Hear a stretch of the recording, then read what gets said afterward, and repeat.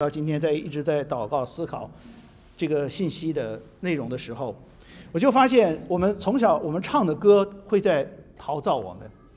在今天早上，我想了两首歌，第一首歌是我们在周五团契的时候一首诗一首歌，不是诗歌哦，因为我们从小我的背景不是基督徒家庭背景。然后另外一首诗歌是《满江红》，我居然想起《满江红》。那那首诗《满江红》是怎么记下来呢？除非老师要背诵，还有一个就是唱一首诗歌《怒发冲冠凭栏处》，然后我就全部都记下来。我说诗歌对我们的陶造是非常的重要。那周五的时候，我们在团契的时候，我就我们在呃我在这个晨光的一个组的时候，我们在分享呃有有几个姐妹在带这个大卫跟。呃，约拿丹的关系，然后我们就最后由这首诗歌来作为结束啊。这首不是诗歌，哦，口误。但是这这首歌，我想是我们今天教会聚集，并且教会在这里北堂传扬福音，然后我们去呃继续的来建造圣徒的一个很重要的，就是教会是一个祝福人的教会。但是这个祝福是什么？我经常也在这个脑海中不断有这个旋律。朋友，我永远祝福你。今天，当我们邀请人进入教会，是为什么祝福？我们大家都很熟悉哈。我如果你熟悉张学友的这首诗歌，那个其我就不读了。我觉得最重要的是，我把后面最后一段歌词改了一下啊。最后两节，他说：“我们在我的生命中间，我们有许多的朋友，许多的经历，但是很多人就可能就只是见过一次。我很感恩的，在我生命中，上帝有许多的人来引导我认识他，归向他。”我觉得最终最喜欢的，我就是说原始原来的那首歌词，他说：“若有缘，有缘就能期待明天。”啊，这个是把，这是一种没有认识上帝的世俗的角度。但是我觉得今天在教会中的时候，我们说因为有神，有神就能有期待明天。当我们把人邀请进入教会认识上帝的时候，我们才有机会说你和我重逢在灿烂的季节。怎么是重逢在灿烂的季节？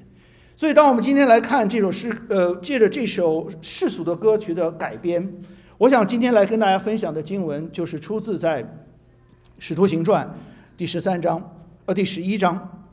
但是，我想说，使徒保罗就把这个新、这个励志的，为什么教会要传福音？教会要继续来这这里建造圣徒，因为使徒保罗今天他他有一个宣告，就是教会的。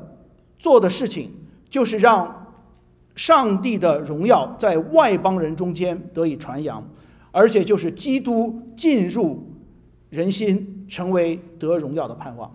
所以在开始的时候，我们先呃看一下，我们先来，我这个呃今天的信信息是接续《使徒行传》第十章，在《使徒行传》第十章的时候，我们发现一个很重要的事实，这个事实就是当福音。临到哥尼流一家的时候，上帝用了使徒彼得这位在十二使徒中间做呃大弟子的，是耶稣的大弟子，来传扬福音给外邦人。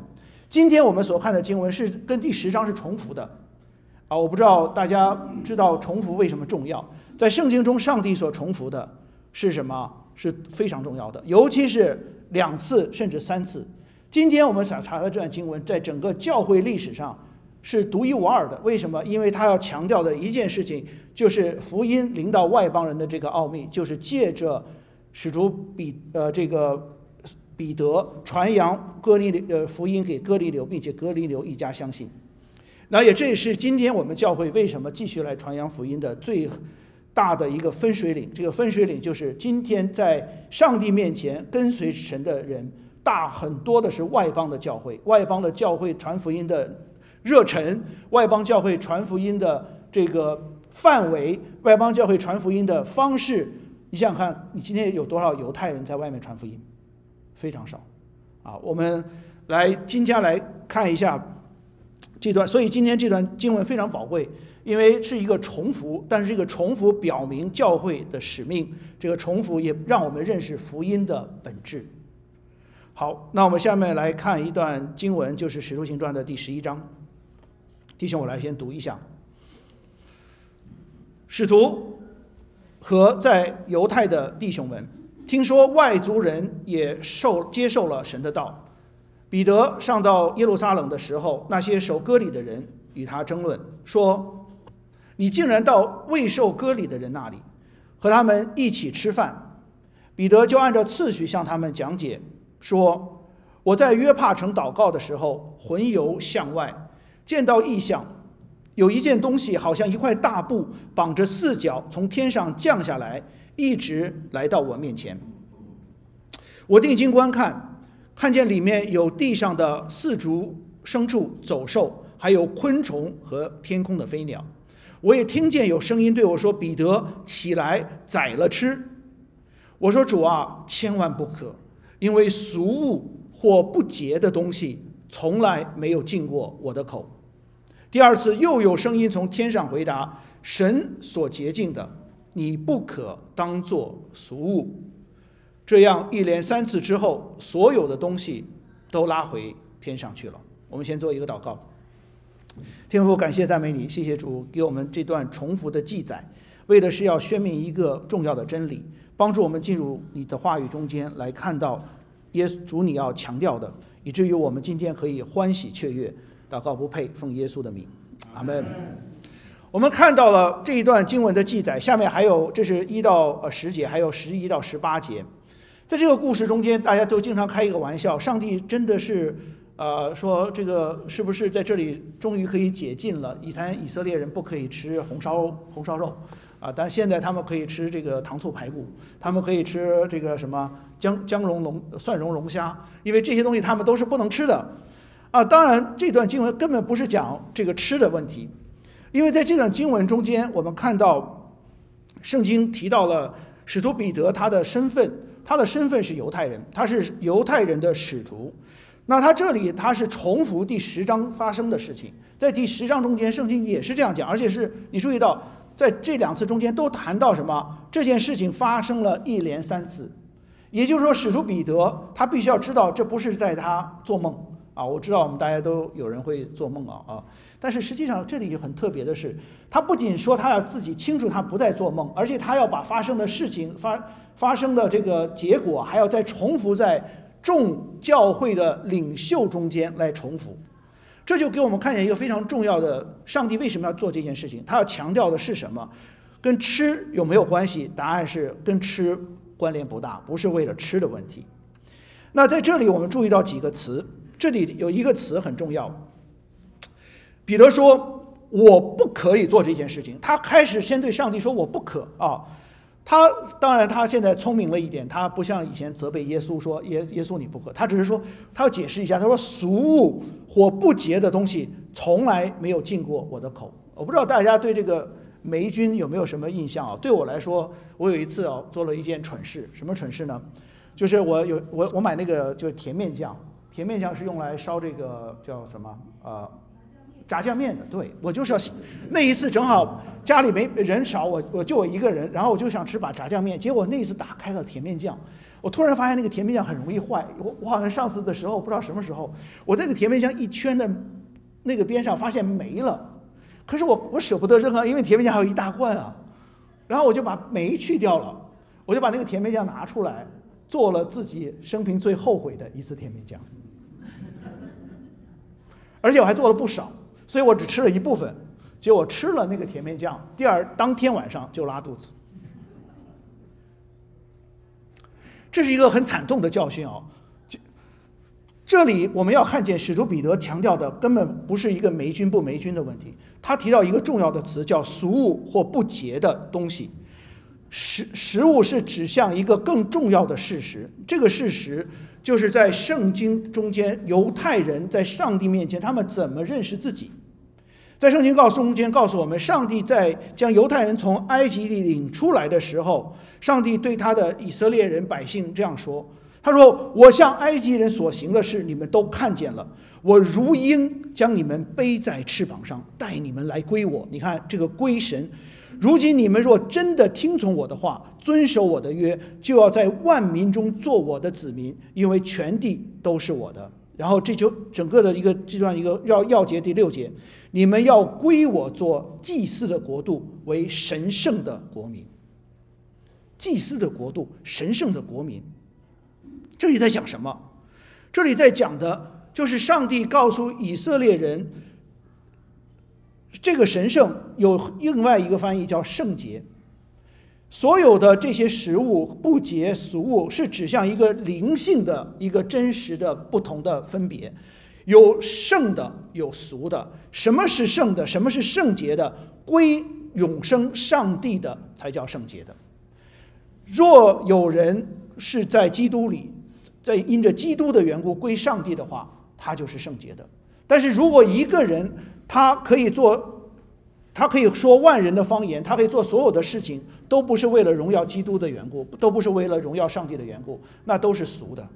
包括他舍己命被焚烧，啊，为我今天又想到，我今天好像又想到一句诗，就是我们同学说，嗯，人生自古谁无死，留取丹心照汗青。那一个人对永恒的那种宣告跟印记，是好像很特别的。当然，因为因为认识上帝，我们才知道，因为人的就是按照上帝的形象造的，所以这些诗词谈到永恒不朽的时候，就会触动我们被上帝所造的那一颗心。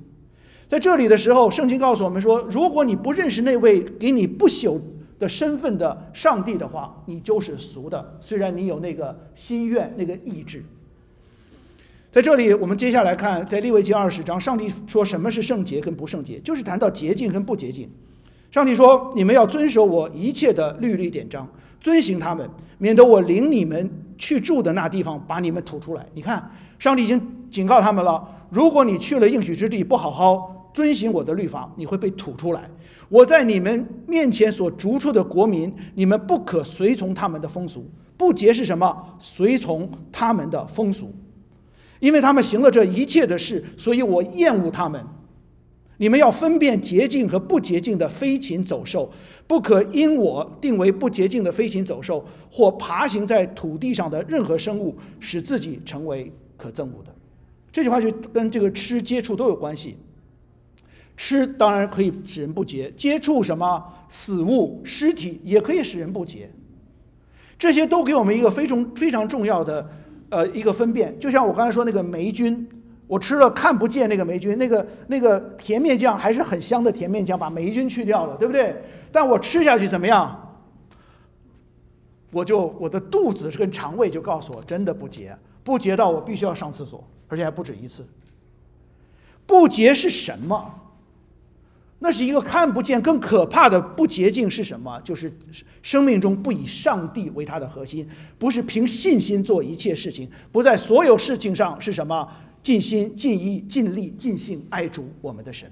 当你思想上帝的完全的要求的时候，你会就看到说，今天的诗歌为什么要提到我们要不断的清洁自己的心？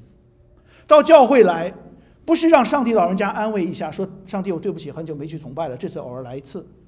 不是，我们需要上帝的圣道洁净我们，让我们的心归向他，做他的儿女，顺服他的律法，喜爱他，并且认识他。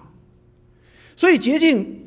圣经说什么？洁净就，他就意思就分归圣的意思，就是要什么归神。洁净叫归神，你们要归我为圣，因为我耶和华是圣洁的，是神圣的。我把你们从万民中分别出来，做我的子民。星期天早上到一个真教会中间，按照上帝的心意敬拜的人，就是跟世界不一样的。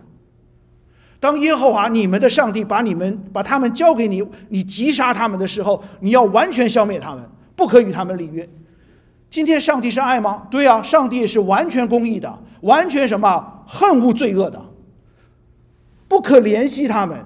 上帝耶稣所敬奉的耶呃约耶稣所认识的父有没有改变？没有改变。耶稣有没有恨恶罪恶？一样恨恶罪恶。耶稣讲最多的就是地狱，因为他必使你们的儿女遗弃离弃我去侍奉别神。上帝恨恶的是什么？上帝恨恶的就是不以上帝为他的核心。不去敬拜真神，这是第一个诫命，不可以在神面之外有别的神。我是耶和华你的上帝，曾将你从埃及为奴之地领过出来，领你出来。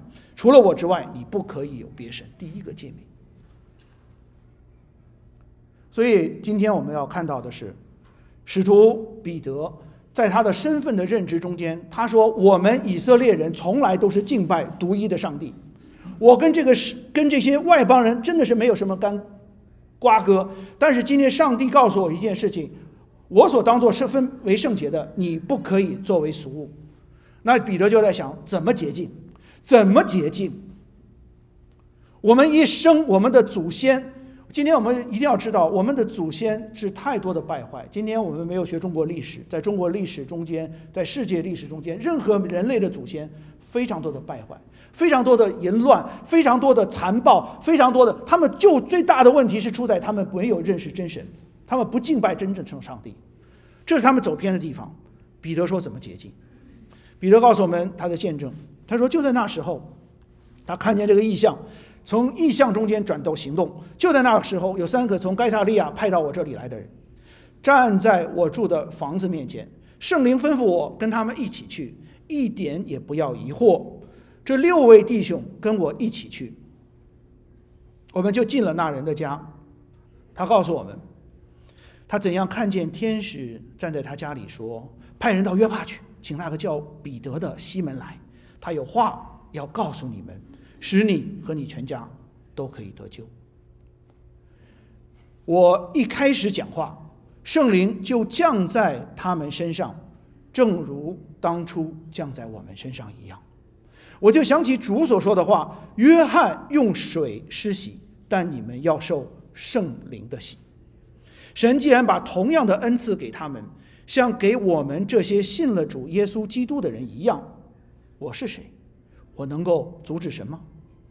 众人听见这些话，就默然无声，把荣耀归给神，说：“这样看来，神也把悔改的心赐给外族人，使他们得生命。”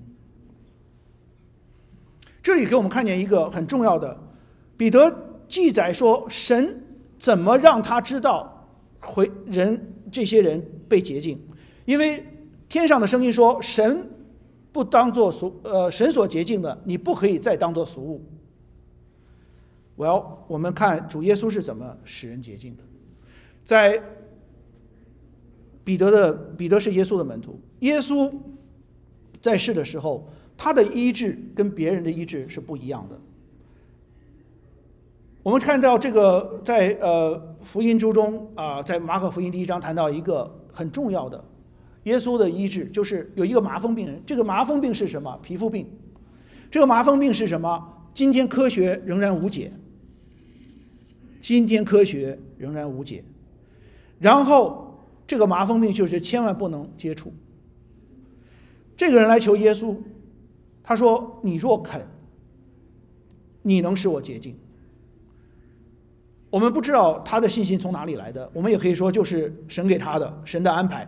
但是耶稣动了慈心，用手去摸他，说：“我肯，你洁净吧。”麻风就立刻离开他，他就洁净了。这个病，我们今天很少有人有了。如果有的话，你也不会坐在这里，啊。但是这个问题就是在于。病指向一个人深层的一个不洁。你说今天你我有没有麻风病？当然没有。但是我们在罪在上帝面前的，如果光是凭我们自己的行为，凭着我们的内心，我们在上帝面前就好像那个麻风病人一样，我们是不洁的。但是耶这个麻风病人说：“你怎么治我救我？”他说：“你若肯，我你就使我洁净。”这句话我再讲一遍。这个很重要的这句话就是说，很多时候我们讲话并不一定知道那个讲讲话的人并不知道那句话的更伟大的含义。就好像在杀害耶稣的时候，把耶稣交给那个十字那个罗马的人的时候，那个大祭司说：“哎呀，这个人死了，可以救我们一帮人，不要被罗马迫害。”可是那句话虽然讲的是是要是谈到另外一个拯救，但是实际上那句话也侧面反映了上帝要借着耶稣拯救所有人。这个麻风病人很特别的，你若肯。我就能洁净，所以洁净是什么意思？洁净在这里就看见一件事情：耶稣肯，或者是上帝肯，上帝安排，上帝宣告，上帝洁净。但是为什么一定要耶稣来洁净？为什么在旧约的其他的故事中间，都是借着上帝的代言人先知？在旧约也有一个洁净的故事，还记得吗？是谁？乃曼。乃曼怎么得洁净的？先知跟他说什么？然后他怎么样？他很不爽，他说：“我大马士河的水比你这里的什么犹太人的水要要干净多了，这还有泥有沙。”结果那个很聪明的人就提醒他：“哎，先知如果让你上刀山下火海，你为了治理的大发病病人，你都会去。结果怎么样？他让你去洗个澡，这还有什么难的？赶快去做吧。”他就做了。哎，跟那个水有没有关系？有，但也没有。那个水是什么？是他凭着信心顺服先知的话。耶稣在这里就好像告诉我们，他背后那个大麻风病使。使乃曼得洁净的先知的上帝也是耶稣的父，所以耶稣说他肯。那你说这个跟我们今天的这个外邦人领受圣灵有什么关系？圣灵是耶稣的灵啊，圣灵让我们想起耶稣，并且认识耶稣，并且跟随耶稣。今天我们传耶稣，在教会传扬福音，就是传耶稣是基督。所以圣灵让我们认识并且爱耶稣。所以外邦人怎么得洁净？外邦人得洁净就是要圣灵的洗。你注意到我这里没有说水洗，圣灵的喜。我今天一定要解释一下圣灵的喜。圣灵的喜这里谈到的这个表征是什么？真的悔改，真的信心，并且受圣灵。哥尼流，呃，在这个故事中间，我们谈到哥尼流他们一家得救的时候，马上就领受圣灵。那这里我们谈谈到，在领受圣灵之前，我们要知道一件事：领受圣灵的时候，也伴随着的是一个真的悔改。在呃 Westminster 小要里问答的时候，这个得洁净也就是指得救啊。嗯，再讲一遍，得洁净就是得得得救，就是有救恩。在呃 Westminster 小要里问答说，他说为了使我们能够逃脱因罪所当受神的愤怒和咒诅，神吩咐我做什么？答案是神吩咐我们信服耶稣基督，因为悔改，信呃信服耶稣基督悔改以至于得生命，并且呢使用基督所设立的外在的蒙恩管道。什么是外在的蒙恩管道？就是受洗，还有圣餐，是叫叫救赎的益处临到我们。所以你看到使徒彼得见到圣灵降下的时候，他讲到什么？他说：“哦，圣灵已经降下了，我就不施洗了，不用再施洗了，已经受圣灵的洗了。”没有啊。他说：“我们要受洗。”然后在这个呃要小要理问答中间也也谈到悔改跟这个信心的关系。他说：“悔改以至于得生命是什么意思？”他说：“悔改是以至于得生命、得永生，是神所赐的得救的恩典。它代表着一个人真实觉悟自己有罪。”今天我们在诗歌中间谈到一件事情，大卫在他的五十一篇谈到说：“我得罪人。”他说：“更重要什么？我得罪神，觉悟自己有罪，不仅仅是觉悟自己得罪人，还有得更重要的是得罪神，又确知神在基督里怜悯我们。所以呢，一个人悔改的人就会为罪而忧伤痛悔，而且这个忧伤痛悔是一次吗？不是，是一生的。”是一生的，就像我说的，我们我是吃了一个很严重的这个发霉的甜面酱，对不对？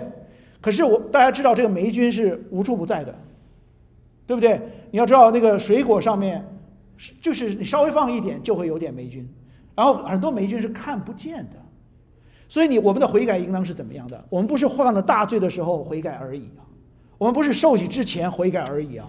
哦，我悔改之后我就不再悔改了。No，一生悔改。所以得悔改得以得生命是指什么？我们会为罪继续忧伤痛悔、恨恶，并离弃自己的罪，归向神。怎么归向神？一生跟随神，立志竭力重新顺服。得洁净，这就是得洁净的方式，也是得洁净的见证。领受圣灵。然后使徒呃保罗也告诉我们什么是外邦人这个词，大家经常听到，有时候他们说叫 lost in translation，或者就经常讲，大家都觉得很熟悉。但是基本上我们可以称外邦人就是没有受过割礼的人。那是不是今天的外邦人是没有受割礼的人？不是，这个外邦人有一个更新的定义，外邦人是内心没有受割礼的人，就叫外邦人。今天很多时候，我们我们来看一下，呃，使徒保罗是怎么样？他说：“他说从前你们按肉体是外邦人，是没有受割礼的，这个名字就是外邦人，这个名字是那些凭人手，因为行割礼是靠人手在肉身上受割礼的人所取的。要记得那个时候，你们与基督无关，与以色列选民团体隔绝，在所应许的约上是局外人，并且在世上没有指望，没有上帝。你知道吗？一个没有上帝的诗歌歌词啊，不是诗歌，一个没有上帝的歌词啊，就是若有缘。有缘是什么？有缘根本就是不是一个，不是只是一个 probability，probability 呃就概念而已。但是圣经给我们看见的，在上帝里面的是因为上帝存在，上帝掌管，所以一切的事情，这里给我们看见，圣经说如果没有上帝，我们就没有指望。这就是外邦人。外邦人是指什么？外邦人就是不将自己的心交给永生上帝，并且在教会中间跟随人的、跟随神的，就是外邦人。那有没有人可能像经常来教会，但是却不交把心交给上帝的？有没有可能？有没有可能？大家不好意思说，肯定有的，有的。所以我们是要得洁净的。我们得洁净的方式，就是在基督里。就是诗歌所唱的宝血。从前你们是远离上帝的，以弗所书保罗说，如今却在耶稣基督里得洁净的方式是不断的在基督里保守自己，在基督里靠着他的血已经得以亲近了，因为他自己是我们的和平，使双方合而为一。这里谈到就是犹太人跟呃非犹太人，拆毁了中间隔绝的墙，并且以自己的身体终止了冤仇。废掉了那律法上的规条，为要使两方借着自己造成一个新人，促成了和平。既在十字架上消灭了冤仇，就借着十字架使双方归于一体，与上帝和好，并且来传和平的福音给这你们远方的人，也传和平给那些近处的人。所以当。使徒保罗在讲这段经文的时候，他谈到的就是犹太人跟外邦人曾经有一个隔离的墙，但是这个墙借着耶稣基督被拆毁。所有相信耶稣基督的人，都是信靠十字架上耶稣所成就的。所以我们的诗歌中谈到很重要的，我们怎么得洁净？我们怎么得永生？我们怎么来成为圣洁，来归神做圣洁的子民？就是靠着基督的十字架，就是靠着信靠基督的十字架。再讲一遍，如果是光是啊靠着基督的十字架，这种是这种说法也是比较抽象。什么叫靠基督的十字架？很简单，我们有没有走十字架的道路？我们有没有荣耀十字架的救恩？我们有没有传讲钉十字架的基督？如果你没有做这件事的话，或者说你觉得不够的话，那第一你要思考。这个人是不是在讲钉十字架的基督？如果不是的话，不要去这种这样的讲台。如第二，我有没有跟随走十字架的道路？教会有没有讲清楚什么是十字架的道路？如果不是这样子的话，这样的教会小心。今天回到弟兄我整个的这段经文的回顾，这段经文的回顾就告诉我们，上帝借着圣灵使人重生的时候，他要。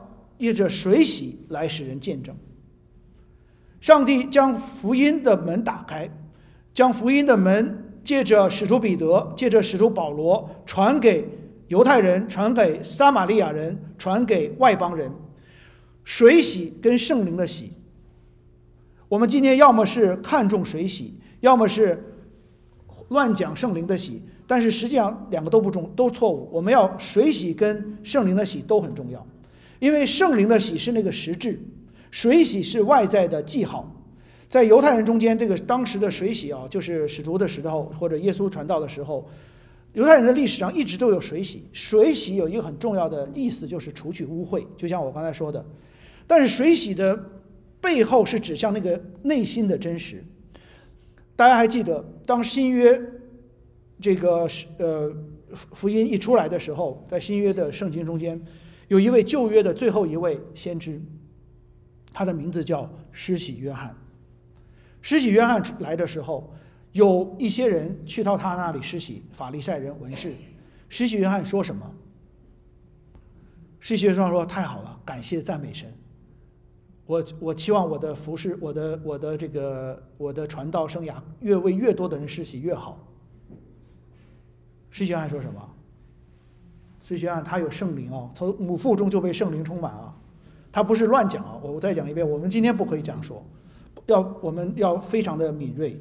我们今天没有施洗约翰的身份，但是施洗约翰很清楚，他说毒蛇的种类，谁告诉你们去逃避那将来的愤怒呢？你指望借着你的外在的洗礼可以逃避那将来的愤怒吗？所以施洗约翰并不是不愿意人去他那里施洗，他是因为有圣灵的百分那个从母腹中就被圣灵充满，所以他可以有这么清楚的看见哪些人。但我们今天不可以。但是施洗约翰所讲的话提醒我们：我们受洗是为了单单逃避将来的愤怒而已吗？只是为了有一个天堂的入场券吗？那？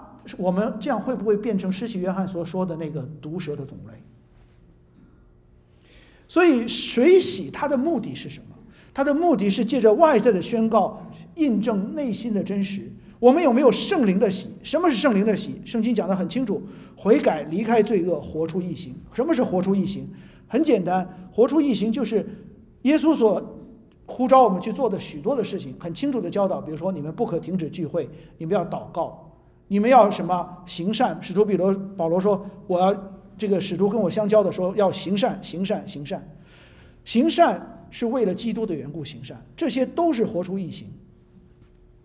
所以整个的这个当这个今天的这个分水岭，就是圣灵传给外邦人的时候，为什么使徒彼得愿意跨出这一步？因为使徒彼得有圣灵的提醒，在旧约的中间，圣经早就预言了圣灵的喜。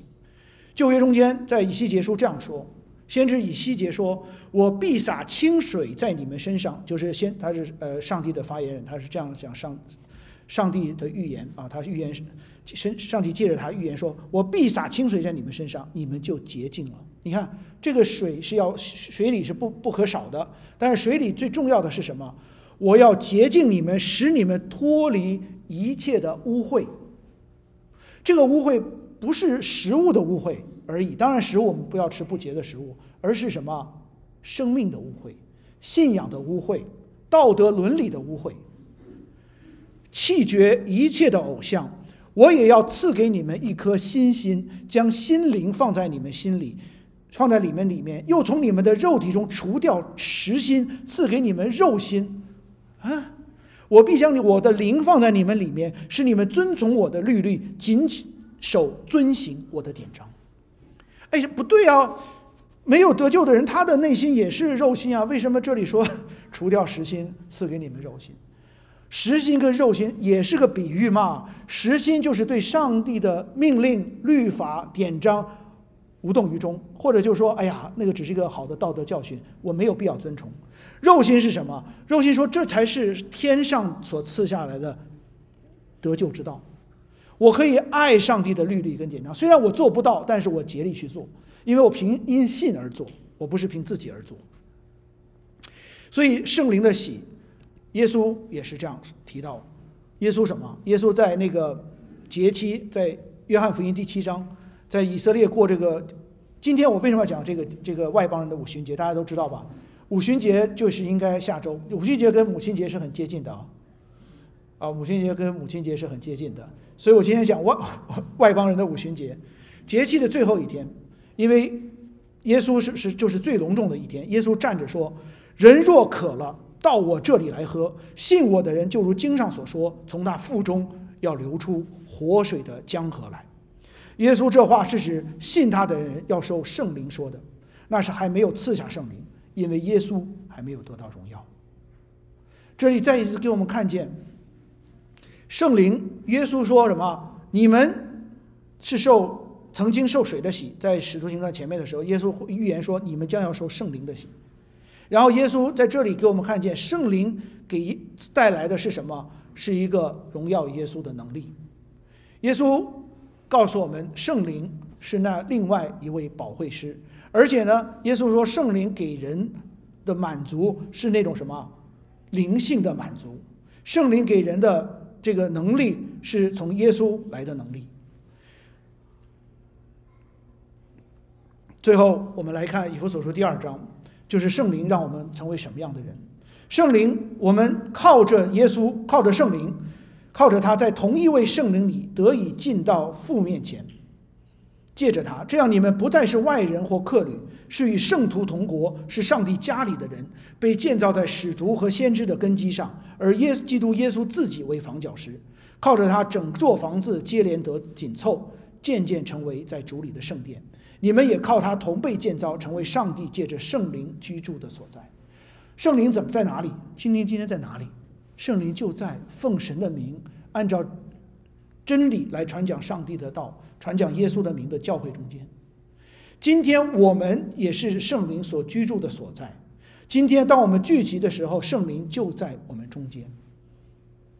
我们这就是神的家，这就是被耶稣所洁净、蒙圣灵洗的人。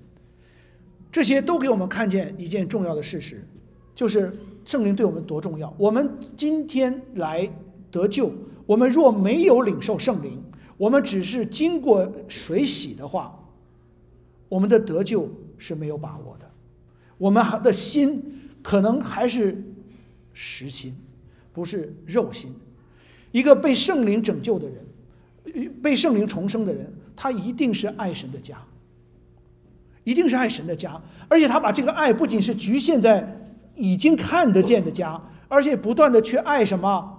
可能还没有得救，但是会成为成家里成员的，所以我们不断邀请人来。我们在教会中间也不断有团契跟聚集，是为了什么？既然人已经来了，我们就要让弟兄姐妹有得救的确据，有知道自己是不是实心还是肉心，有机会听到福音，再在福音中悔改，不断的来按照上帝的旨意来传扬，来扩展他，建立他的国度。所以我。彼得最后说：“他说什么？这些人受了圣灵，和我们一样，谁能阻止我们用水给他们施洗呢？水洗重不重要？重要。弟兄，我下一次就会讲水洗。然后呢，身体只有一位，这是使徒彼得呃保罗说的，一圣灵只有一位，我们领受的是同一位圣灵。所以，我们说真的，教会弟兄姐妹在永恒中间会相见，就如那个祝福那首歌的说。”我们会相聚在灿烂的季节，当主再来的时候，当我们在天上相聚的时候，我们既然如此，我们我们与弟兄姐妹的关爱是非常宝贵的，可能比我们的认识的家人，但是最后终没有相信的家人还宝贵。所以鼓励大家在这里说：一主一信一喜，一位上帝就是万人之父，超乎万有之上，贯通万有，在万有之中。最后，呃。当我们看到圣灵的应许所降下的时候，是要做什么？今天为什么上帝不断的要说外邦人、外邦人、外邦人？上帝的意思是说，所有的人在亚伯拉罕，上帝给他说：“你那个后裔要祝福万代”的时候，那个祝福指的是什么？就是外邦人中间有许多的人相信耶稣基督，而且犹太人中间有没有相信耶稣基督的？有。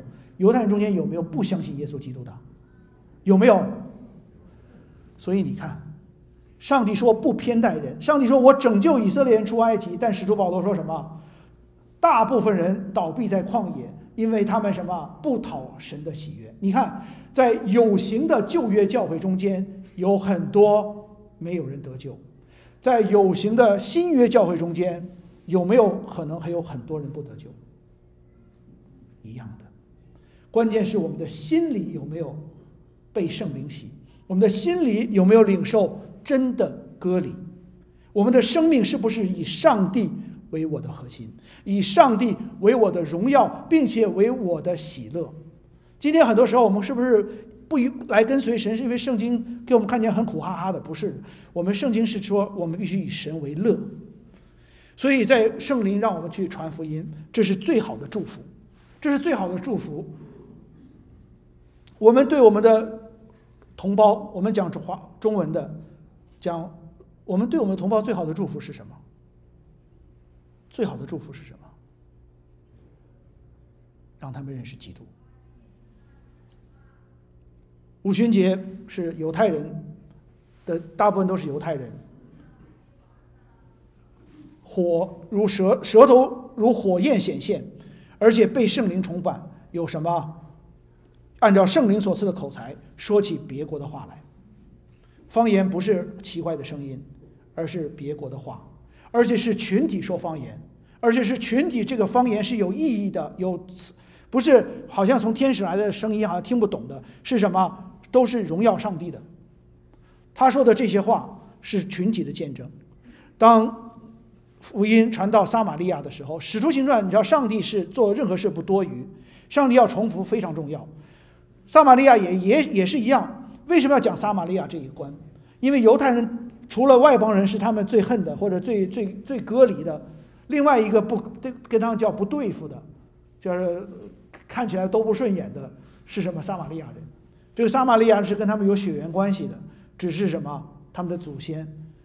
被被掳，然后跟其他的民族杂杂杂居，并且什么通婚，所以呢，他们不把撒玛利亚人当成纯正的犹太人，但是上帝也也爱他们，于是呢，使徒彼得和约翰去什么，使他们领受借不是是借着他们领受圣灵，表明两件事情：撒玛利亚人要谦卑。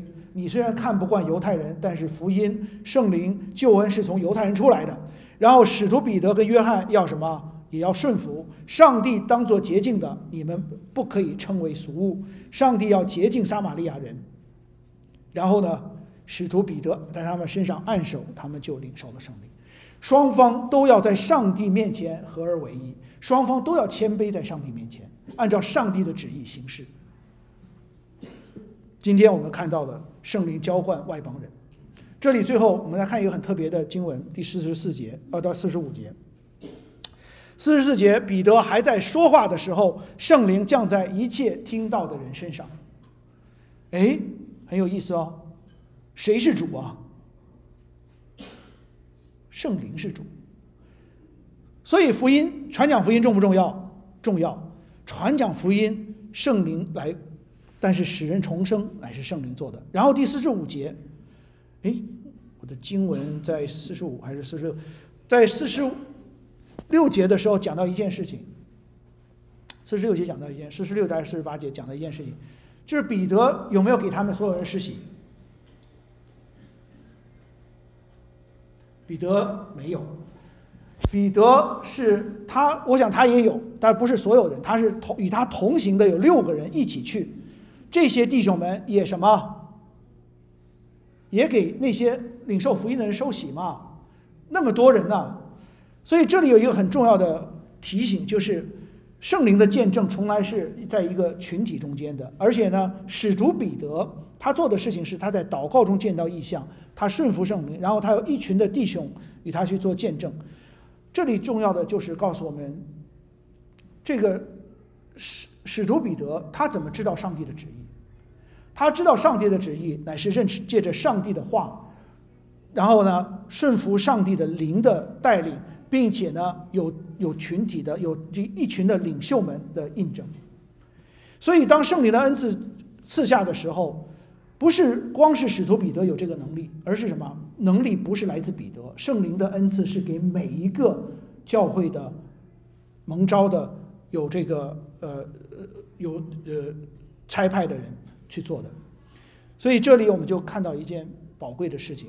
今天我们去传福音的时候，我们就是把这个祝福、把这个圣灵的恩赐传给人的时候，这是上帝的美意，将福音传给我们，将福音借着我们传给我们的同胞，借着我们传给所有讲中文的，也借着我们。如果有机会，如果你英文有时候可以的话，有人需要的时候，你也可以用英文跟他讲。但是主要的是，我们把神的恩赐，就是神的灵，然后呢，基督的福音传给人。感谢赞美神，愿我们受到这个外呃呃，当我们听到这个信息，就是圣呃外邦人的五旬节的时候，上帝的重复啊，借着这个路加重复这两段的记载，就是告诉我们一件事情：我们所领受的圣灵是真实的。上帝的旨意早就在创世，在这个亚伯拉罕的时候，在创立世界的时候就设立了。我们就努努努力去传福音，让更多的人来领受圣灵，让更多的人来信靠耶稣基督。我们一起来祷告，天父，感谢赞美你，谢谢你将这一个永生的祝福赐给我们。啊，这个祝福乃是在你的福音的中间向我们传讲，借着你的圣灵来赐给我们，在我们里面有一个印记，也借着教会不断的来呃宣讲福音的时候，让我们众人可以知道啊主你的真理，乐意顺服，并且有得救的确据。我们我为我们今天中间还那些呃继续在寻求的人来献上祈求。我们知道，我们不是凭自己的决定，但是我们的愿意，圣灵就会帮助我们得以真正的重生。我们就求主的圣灵的能够使他们重生，使他们听到福音欢喜雀跃，能够就像诗歌中所提到的，得以清洁，极大欢喜。我们也为我们中间已经得清洁。曾经也欢喜的圣徒们再一次献上感恩，也求主让我们这得救的喜乐、得救的确据，不断在圣灵中、在真理中得以清洁的我们这些众圣徒，可以更加渴慕你的话语，因信以至于信，以至于我们可以更多的将这个呃永生的祝福呃带给我们周围的人。我们的我们的能力有限，但是主你的恩典无限。主，你的圣灵的工作是大有能力的。求主祝福我们每一个人成为福音的管道，啊，在不论是在职场、在家庭，啊，在社在这个社区中间，我们都成为主你美好的见证。谢谢主，祷告不配，乃是奉主耶稣基督的圣名。阿门。请大家起立，我们一起唱三一颂。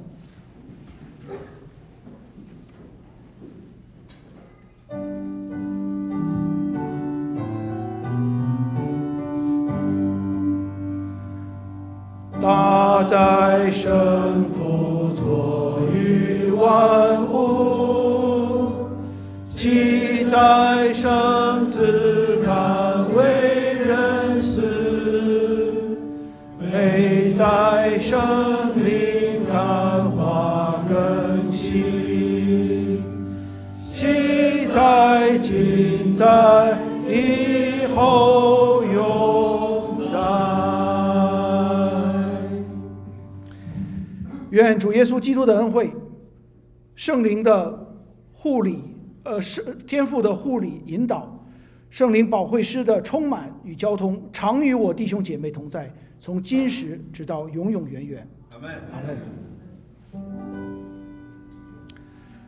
啊。